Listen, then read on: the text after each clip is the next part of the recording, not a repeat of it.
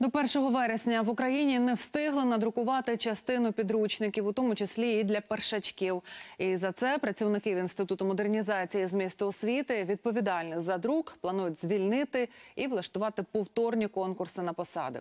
Про таке напередодні заявила міністр освіти Лілія Гриневич. Книжки мали бути в школах до 1 вересня. Тепер же їх чекатимуть до жовтня. Усього планують надрукувати 18,5 мільйонів підручників. Електронні версії з усіх предметів можна знайти в інтернеті. Триває друк і починається розвезення підручників для першого класу до обласних баз.